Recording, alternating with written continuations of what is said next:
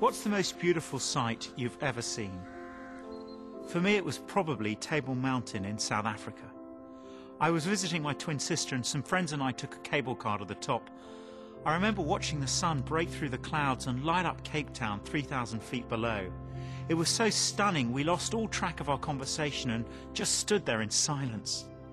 What would it be for you? And when you saw what you saw, I wonder if you asked yourself the same questions I did. What kind of power could have produced something so achingly beautiful that it reduces a human being to sheer, wordless wonder?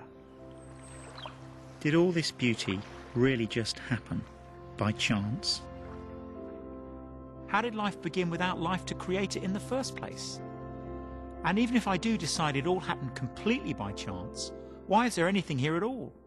Why is there something and not nothing? Then there are the stars, millions of millions of miles above us. Apparently, there are at least 100 billion stars in our galaxy alone, and scientists estimate there are at least 100 billion galaxies in the universe. And it's not just the larger things in life that are truly remarkable, it's the smaller things too. There are 75,000 miles of blood vessels crammed inside us and at least 50 trillion cells. If the DNA from a single human cell was stretched out, it would measure about six feet in length. So if all the DNA contained within the cells of a single human being was stretched out and laid end to end, it would reach all the way to the moon and back again 8,000 times. You're amazing. And if you saw something that stunning in a gallery or heard something that beautiful on the radio, you'd instinctively ask, who created it? And if someone were to tell you that this incredible piece of art or music just came together by itself, without any author to create it, would you believe them? The Bible quite unashamedly says that all this natural beauty is meant to point us towards God, the one who created the extraordinary scale and complexity of the universe we live in and the bodies we inhabit. But as a younger man, I had a real problem with all that. Although my experience of the universe was that it really was extraordinary, Christianity definitely was not. First of all, it was incredibly dull. I used to go to church about once a month, and when I did, I just sat there counting the number of bricks up the wall. Secondly, I couldn't see what it had to do with me. I couldn't relate to the religious people I met, and I couldn't see the point of reading a book written 2,000 years ago and 2,000 miles away. I thought it was a bunch of rules telling me how to live my life, and actually, my life was pretty good, so I didn't need any of them. Then, thirdly, and most importantly, I just thought it wasn't true. I didn't have a problem with Christmas, and as you can probably guess, I had no problem with Christmas stuffing. But Christianity itself was make believe. I never mistook it for the real world. But then my brother did something that started to change the way I thought about Christianity. He opened a Bible and showed me the very first sentence of a book called Mark. It says this the beginning of the gospel about Jesus Christ. He said to me, Rico, you just don't understand what Christianity is about. You think it's all about churches and rules and leaving your brain at the door and having all your fun spoiled. But, he said to me, that's not what it's about. The first sentence of Mark says that Christianity is about Christ. He explained that the word Christ isn't Jesus' second name. It's a title, like president or prime minister, and it means God's only chosen king. And Christ was an extremely dangerous word for Mark to use here, because at the time he was writing, Roman emperors were said to have divine authority.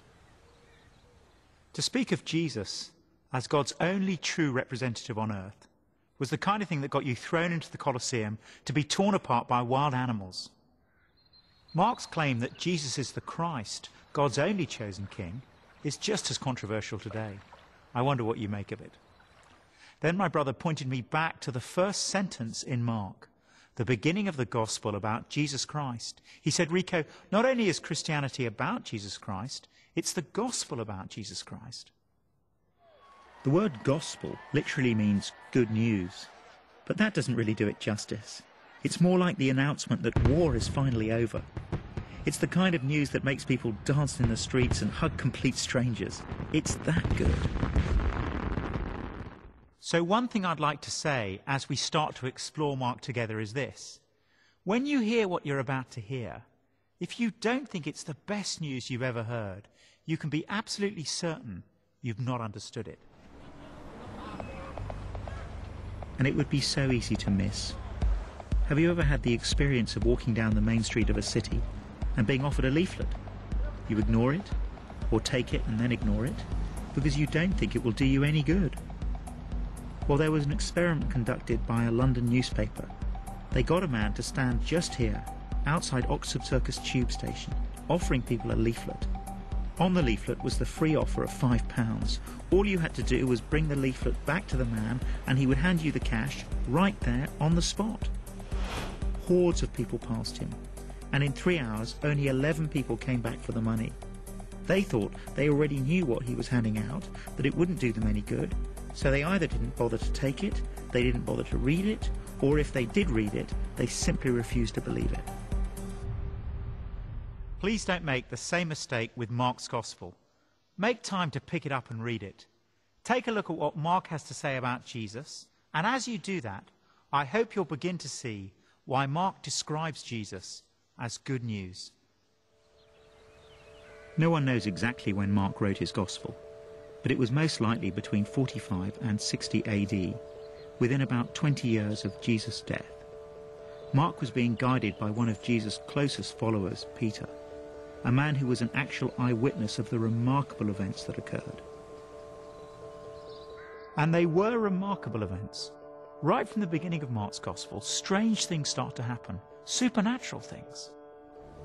At that time, Jesus came from Nazareth in Galilee and was baptized by John in the Jordan. As Jesus was coming up out of the water, he saw heaven being torn open and the Spirit descending on him like a dove, and a voice came from heaven. You are my Son, whom I love. With you I am well pleased heaven gets torn open, the Holy Spirit comes down on Jesus, and God the Father announces, You are my Son. And if you're thinking to yourself, well, this is just flat out weird, you're not the only one. Mark tells us that people thought exactly the same thing 2,000 years ago, including Jesus' closest followers. But maybe they should have expected it. Early in Mark's Gospel, we read a 700 year old prediction that someone called the Lord was on his way. In other words, get ready. God is coming to meet you. The prediction also says that a messenger in the desert will tell people that the Lord is coming. That messenger, according to Mark chapter 1, was a man called John the Baptist. Mark tells us that the whole Judean countryside and all the people of Jerusalem went out to him. They flocked to him because if God was coming, they knew they needed to be ready. They knew from their own experience they were not the people they wanted to be, let alone the people God wanted them to be. So John offers them baptism with water as a sign of being washed clean, of being forgiven. When the person was lowered into the water, it was a symbol of dying to the old self. And when they were lifted out of the water, it was a symbol of being raised to new life. But John knows that when the Lord himself comes, he will offer them, and us, so much more.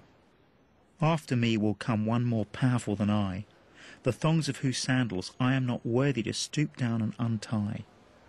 I baptize you with water, but he will baptize you with the Holy Spirit. What John is saying is absolutely stunning. He's claiming that Jesus Christ will not only offer complete forgiveness to all those who put their trust in him, he will also fill those people with God's Holy Spirit, who will radically transform their lives. To those who know they are not the people they want to be, let alone the people God wants them to be, this is the best, the most remarkable news in the world. But is it true? It's certainly true that what Mark reports isn't the kind of thing people normally experience. And if Jesus is just an ordinary man, then what we read here is simply not believable. But if, as Mark claims, Jesus is much more than that, then it shouldn't surprise us that extraordinary things are starting to happen. And that is the beginning of the good news that Mark has for us. God has actually revealed himself to us in human history through Jesus Christ. When we look at Jesus, all the guessing games about God stop. The good news, according to Mark, is that Jesus really is the Christ, God's only chosen King. But Mark is just getting started.